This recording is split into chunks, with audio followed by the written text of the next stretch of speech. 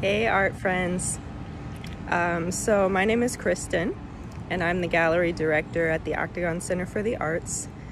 Um, I wanted to give everybody a chance to see the Outrage for Change pop up show that's currently happening in downtown Ames on Main Street and just off. Um, we had a lot of people who donated to the crowdfunding campaign that probably don't live in the area and I wanted to make sure that they had a chance to see the show too. So um, I'm a party of one this morning and I don't have any way to carry notes with me. If you have, um, if any of the art really strikes you and you want to learn more about the artists, you can find all of that information on our website. Um, their bios, their statements, um, images of their art, their Instagram handles. And um, this is going to be a kind of sloppy um, look at the artwork that's down here on Main Street, but I hope you enjoy it. I'm gonna wear my mask. It might be a little muffled sometimes, um, but here we go. Okay, we're starting at the Octagon Community Gallery. And the first artist is Jordan Brooks.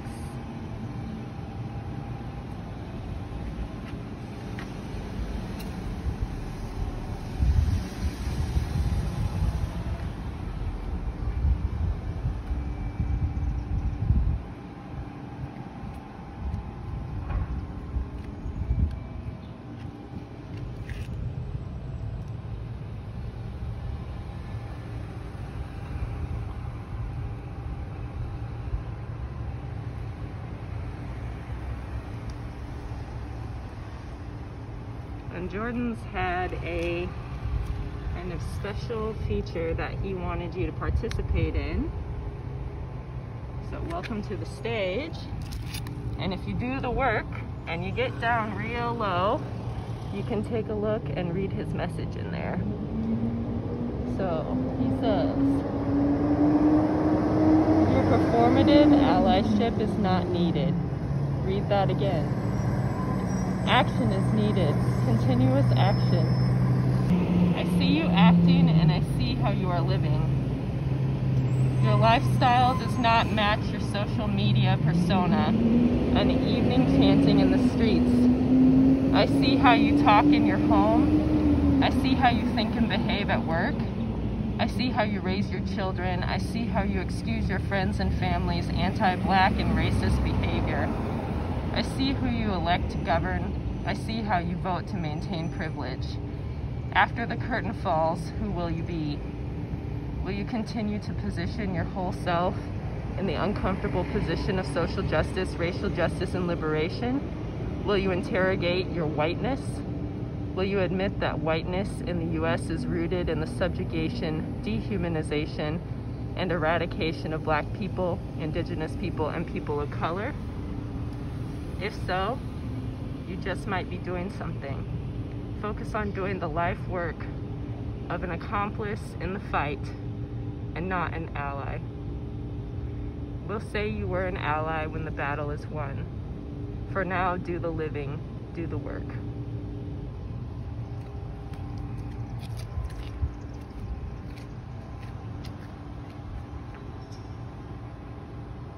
Okay, here in the Octagon Gallery shop window, we have Cub Stevens.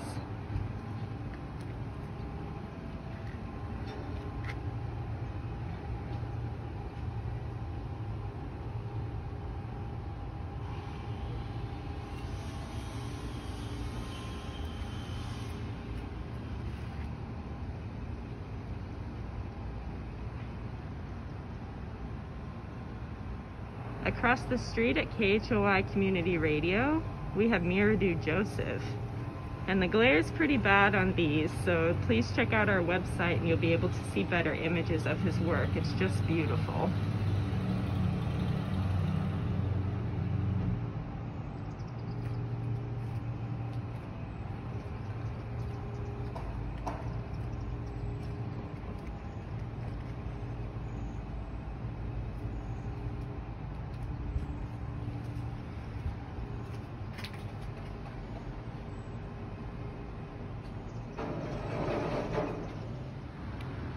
At Design on Main Gallery. We have this piece called I'm Too I'm Too Full to Feel by Cameron Gray. It's kind of interesting to see the reflection of myself inside the piece.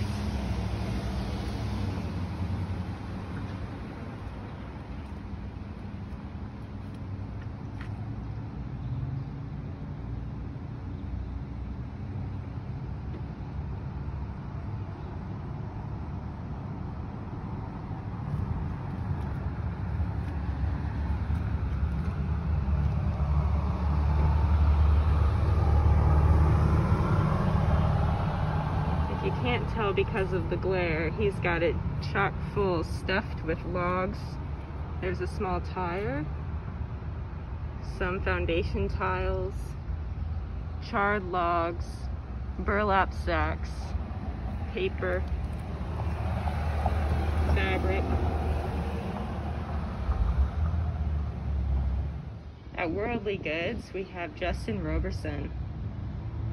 He's got three pieces here can get this without the glare.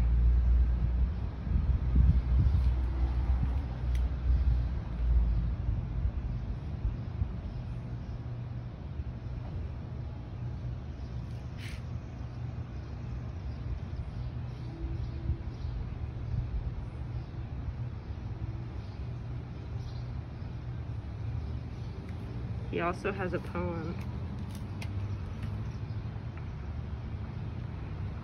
Says, if proper decorum is submission when my life is on the line, and still on my knees I die, tell me, who should who should I complain to when I awake dead? Around the edges it says arrest the cops who murdered Breonna Taylor. At photosynthesis, we have Jamila Johnson,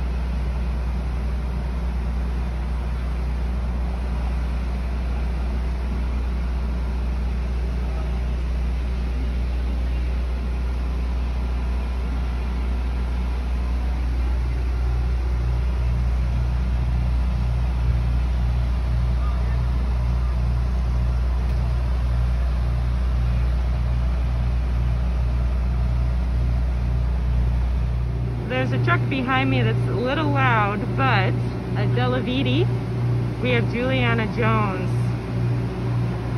Her piece is quite large. You can see the two figures on the top. It says speak truth, hear truth, see truth.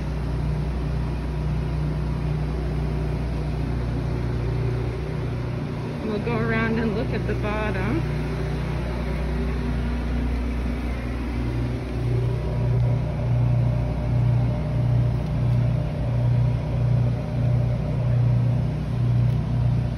Had people from her family, friends, and community create these smaller figures for her. On the inside, we are made of the same. One heartbeat at a time we live.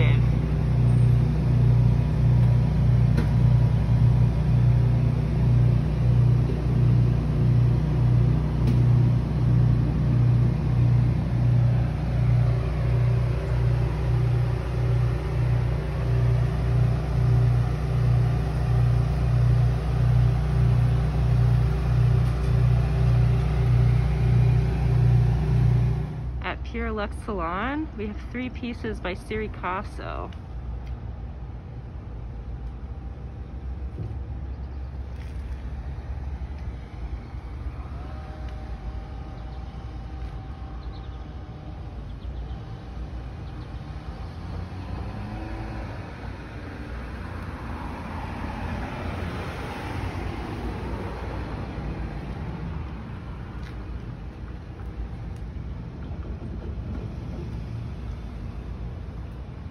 We're back by the noisy truck again and the glare is pretty bad. But we have this beautiful piece at Downtown Delhi by Francisco Sanchez Ordaz.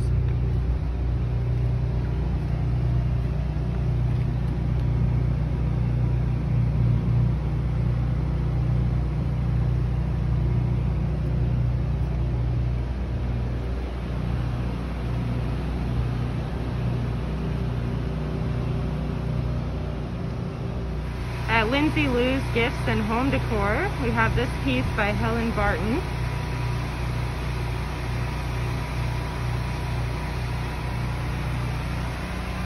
The quote says, we are never assured of justice without a fight. By Angela Y. Davis.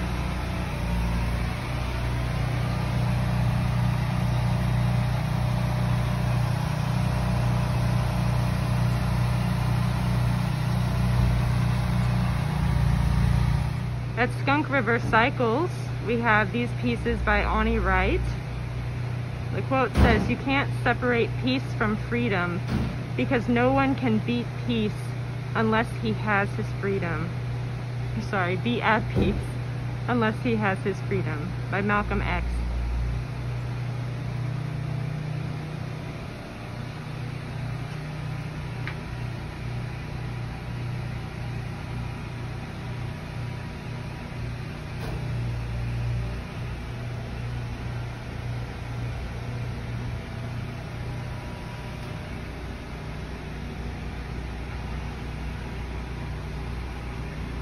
This poster says liberty for all. I believe in liberty for all, the space to stretch their arms and their souls, the right to breathe and the right to vote, the freedom to choose their friends, enjoy the sunshine, and ride on the railroads, uncursed by color, thinking, dreaming, working as they will in a kingdom of beauty and love by W.E.B. Du Bois. At Gilger Designs, we have Amara Agba, this piece, the caption below says Future Revolutionary. Future Revolutionary represents how children of color are forced to grow up as the voice of their race and have to be the ones to be affected by and speak up about racism from a young age. Depending on how or where you grow up, it can cause conflicts with your peers, with your own identity, and take a toll on your mental health and a second piece by Amara at Gilger Designs. And the caption with this one says, We See. During one of my years in high school, we were reading the poem Incident by Countee Cullen. My white teacher clarified she was going to use the N-word, her reasoning being something like showing the impact of the poem. To this day, I don't believe her saying it was really necessary. We all saw the poem projected. We all knew what the word meant and what it sounded like, and in the situation I felt powerless, too worried to ask if she wouldn't. Once riding in old Baltimore, heart filled, head filled with glee, I saw a Baltimorean keep looking straight at me. Now I was eight and very small, and he was no whit bigger. And so I smiled, but he poked out his tongue and called me the N-word. I saw the whole of Baltimore from May until December. Of all the things that happened there, that's all that I remember. Countee Cullen. At the bottom they say, ironically looking back at this incident, the only thing I remember from the class period is the scene I painted.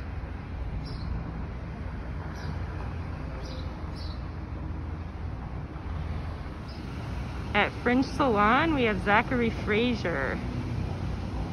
Zachary's also a graphic designer.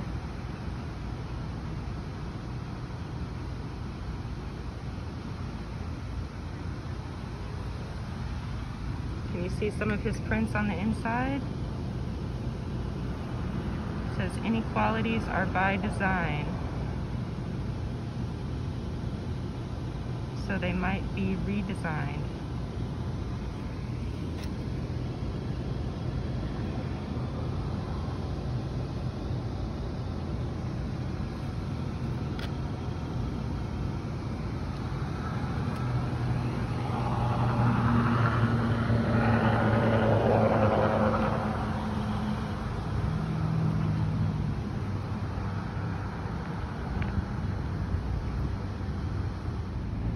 at Morning Bell Coffee Roasters, we have a painting by Jamie Malone.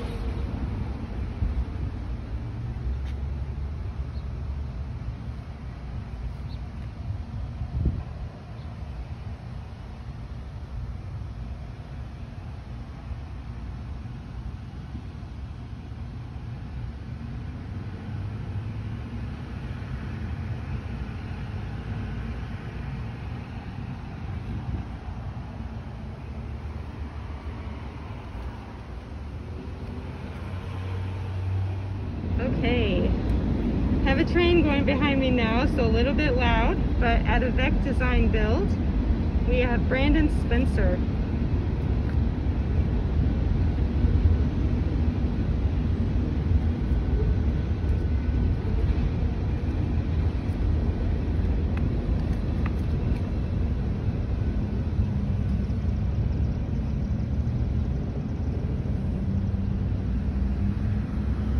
And he has one more around the corner here.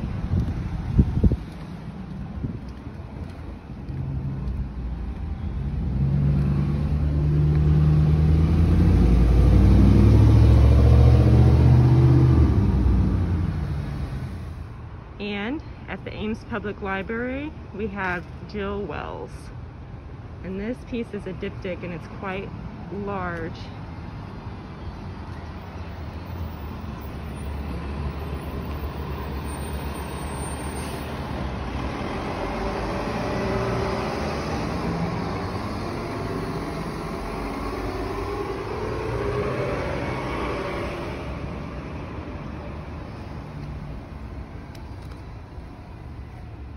Try and keep myself out of the frame.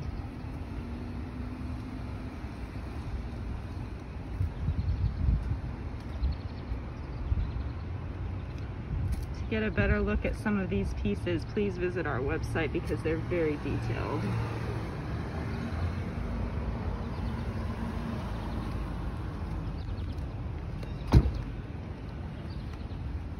This is more of Jill's artwork.